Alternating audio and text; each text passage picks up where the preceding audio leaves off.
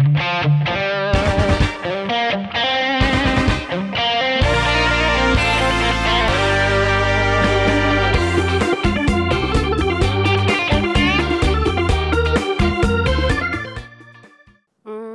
มเขาจะมีแบ่งเนาะ อะอะอันเดี๋ยวผมนิดนึงฮะเอ่ออะ ตอนที่ตอนที่แบบพอหย่านนมเสร็จเราก็จะไว้ไปไว้กรงนู้นตรงนู้นกรงเหล็กตรงโครนี้งโครงเหล็กข้างหลังนู่น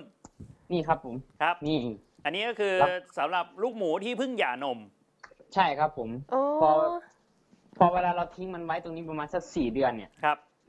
เนี่ยตอนตอนอันนี้หลังหย่านมนะครับ ครับ เราก็จะทิ้งไว้นี่ พออยู่ได้สี่เดือนปุ๊บครับ เราก็จะจับมันมาไว้กรงคอกใหญ่แบบนี้เลยอืมนี่ครับผมให้มันมีพื้นที่ในการวิ่งเล่นเดินเล่นกันหน่อย ใช่ครับผมนะฮะอันนี้ก็จะเป็นแบบ เป็นแบบหมูพอพอขายได้นะครับครับผมนี่จะเป็นแบบประมาณนี้แหละครับ อือืมมอ๋อพอเห็นแล้วเราก็รู้สึกเขาน่ารักเนาะนี่มันมันเห็นมาเห็นกล้องมาปุ๊บยังกับรู้ว่าฉันจะได้กินอาหาร นี่คุณใส่แอปให้เขาหรือเปล่าหูชมพูหูแบบสีชมพูเลยอะ น่ารักคุยเชียคุยคุยกับเขาก่อนนะ อะสวัสดีอุดอุดอุดอุดอุดอุดอุดอุด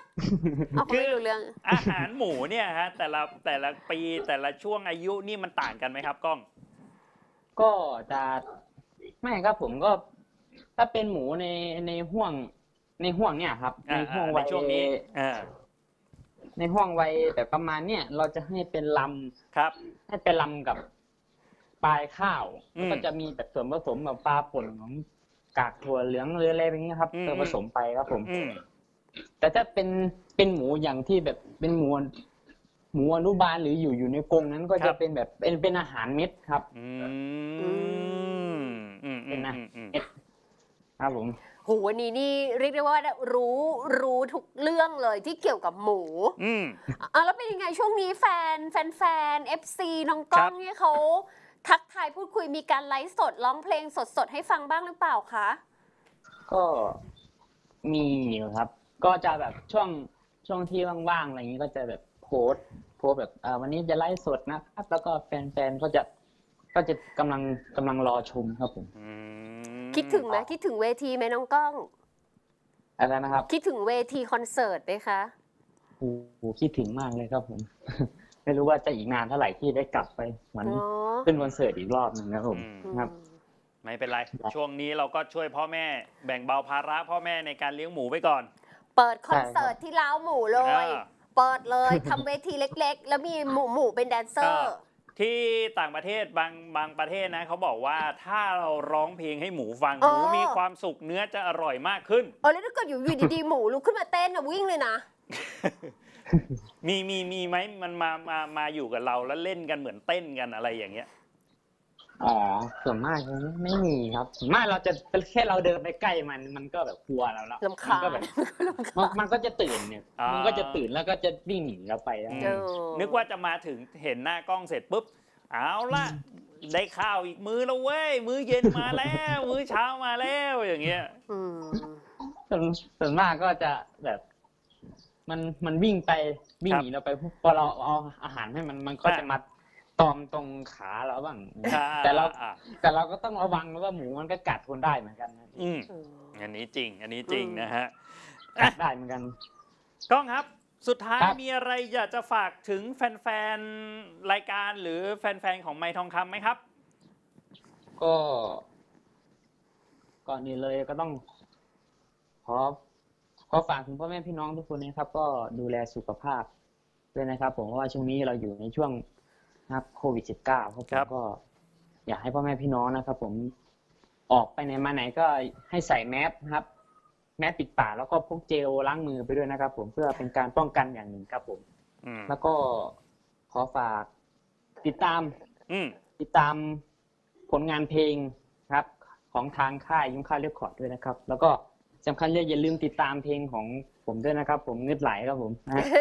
แบบพ่อแม่พี่น้องจำได้เปล่าเนาะ จำได้ จำแม่ขอสักท่อนเนี่ยเผื่อตึ๊ดเผื่ตึ๊อดใครตึ๊นะดตึ๊ดตึ๊ดตึ๊ดตึ๊ดตึ๊ดตึ๊ดเห็นไหมฉัสันกท่อนจำได้ สักท่อนสักท่อนเอาสักท่อนหนึ่งนะอ่าฮะสักท่อนสักท่อนก่อนจะลากันไป โอเคครับผม ผู้บ่าวสาแก้วถึถือพิมพ์คักแล้วแม่นบอกอายพี่ในขอหาหยังนอ เจ้าจึงมาขอเลิกไปคบมาตั้งดน มอต้นกันจนฮอดมอปลาย ปฏิทินกระทินกันง่ายๆบอกลายได้มีกี่ลีครับผมโอ้ขอบคุณครับยขอบคุณมาก นึกว่าลืม นึกว่าลืลืมมเนื้อเนื้อไปแล้ว ไม่ลืนั่มงสิดูอยู่ลืมเปล่าวะไม่ลืม ลืมเปล่าวะ ไม่ลืมครับผม เอาวันนี้เราต้องขอบคุณน้องก้องด้วย แล้วก็เช่นกันให้น้องก้องดูแลสุขภาพด้วยนะคะ ครับ ขอบคุณค่ะ ขอบสคุณวัสมากดีมากค่ะครับสวัสดี ครับ ขอบคุณครับขอบคุณครับ โอ้โห วันนี้ฉันเหมือน ฉันสามารถกลับไปปลูกต้นมะกรูดได้ อืม เลี้ยงหมูได้ อืมได้แรงบันดาลใจ ได้แรงบันดาลใจนี่คือวิถีแบบที่ไม่ต้องคิดอะไรเยอะอืมนะ ก็มีหนึ่งอีกหนึ่งอาชีพรองอืมรับอยู่นะคะ เอามาให้คุณผู้ชมดูเผื่อได้เป็นแรงบันดาลใจว่าอะในเมื่อถ้าเกิดมันมีปัญหาอย่างของน้องเอพูดไว้เอก็จะบอกว่าปัญหามันมีไว้แก้อืมเราก็ต้องคิดอยู่ตลอดว่าเราจะทำยังไงให้ผ่านปัญหาตรงนี้ไป ต้องมีแผน 1 แผน 2 แผน 3 ส่วนของน้องกล้องนี่ก็ยังเป็นเจนใหม่อยู่ค่ะก็ยังช่วยพ่อแม่ในการทำอยู่นะฮะ ก็ถือว่า เป็นตัวอย่างที่ดีให้กับน้องๆ หนูๆ เยาวชนนะฮะ ว่าเวลาว่างก็แบ่งเบาภาระพ่อแม่บ้างค่ะ อืมนะฮะคุณผู้ชมอะแล้วก็ตอนนี้นะต้องเรียกได้ว่า ครบรถจ้ะ ครบ